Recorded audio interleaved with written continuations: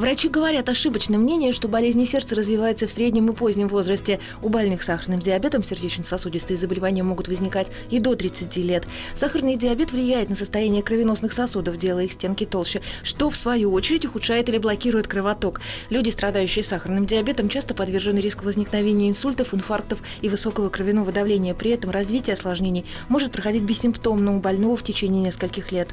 Недаром же э, в диспансеризацию взрослого населения включен обязательное определение уровня холестерина, уровня сахара крови. Потому что, к сожалению, долго диабет бессимптомный при втором типе, нет проявления его. Иногда он случайно выявляется у пациентов. Но сердечно-сосудистая патология – это один из э, рисков развития сахарного диабета второго типа. Существует такое понятие, как индекс массы тела. Это соотношение роста и веса.